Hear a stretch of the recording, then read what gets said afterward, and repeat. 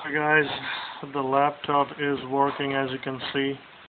Uh, the internet is working and uh,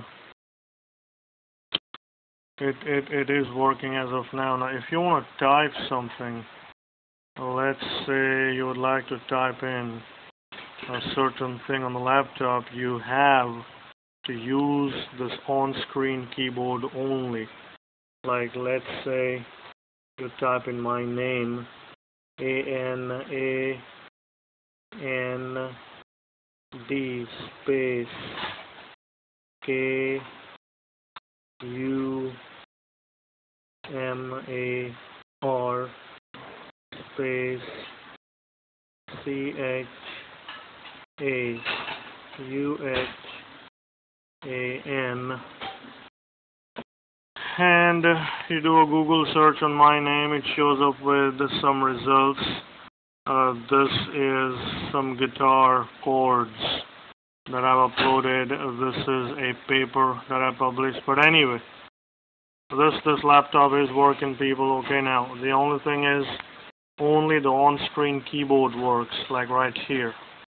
This particular, you know, keyboard does not work. Now, what I've done is on this side, hang on one second, let me just get this. You see this little arrangement? That's what I've done. I've actually taken the spin and the spin actually goes into this this laptop right here. Now it might not stay very long, but it's it's holding on for now.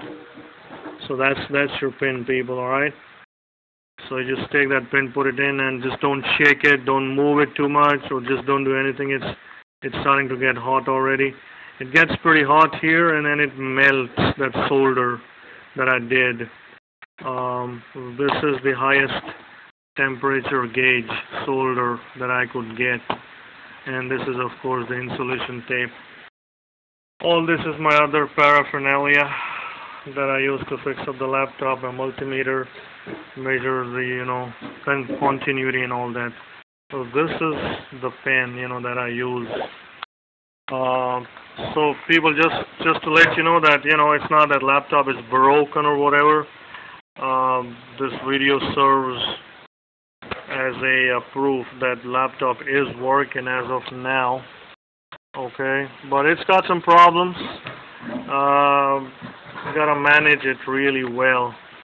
I mean, you cannot really use it in a practical situation. Uh, and it gets pretty hot right here, like right here. The temperature is pretty hot. Uh, you cannot hold it in your hand for real. I'm not kidding. But anyway, so that's the laptop people just wanted to let you know it is fixed. It's ready and it's working. Let me just of go over a couple of more software. You can open up anything that you like here okay? I'll probably back it up tomorrow Sunday. And uh, if you guys still want it bad that's fine. Um, just give me a call or I will try to reach you back again. That's the Mozilla Firefox by the way